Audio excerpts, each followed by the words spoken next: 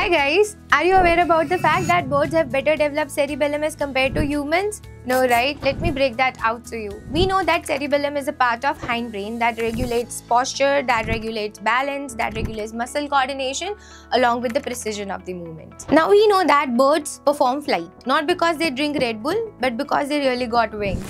Now we know that during the flight, flight really demands extremely precise muscle coordination. It requires continuous balance in the air. Along with that, it requires rapid coordination between the wings and the tail.